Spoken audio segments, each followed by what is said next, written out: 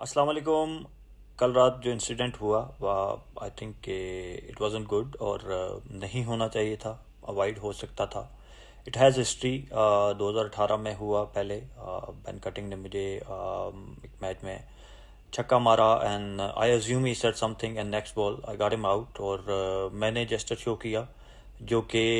Totally unintentional था और I feel bad straight way और नेक्स्ट uh, मॉर्निंग मैंने जाके एट द ब्रेकफास्ट मैंने उनसे अपोलोजाइज किया क्योंकि आई फेल्ट कि वो uh, नहीं होना चाहिए था। कल रात जब uh, उन्होंने मुझे दो छक्के मारे and he did that just और वो मेरे पास आए और उन्होंने कहा जी कि तुम्हें याद है you did it in C P L against me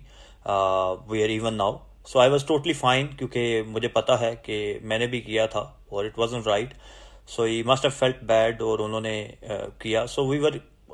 हमने एक काइंड ऑफ़ हैंड शेक किया और वी सेड ओके बट जब उन्होंने दोबारा किया तो I was I was quite furious क्योंकि एक बात जब हो गई थी uh, उन्होंने खुद कहा कि वी आर इवन नाउ तो उनको दोबारा आई फील के नहीं करना चाहिए था। तो we we exchange some words and जब फिर मैंने कैच किया तो uh, मैंने भी एंगर में वो जैसे शो किया दोबारा जो कि अगेन आई विल रिपीट के कोई शायद शायद नहीं यकीन अच्छा जेस्टर नहीं था और ये इंसिडेंट अवॉइड हो सकता था।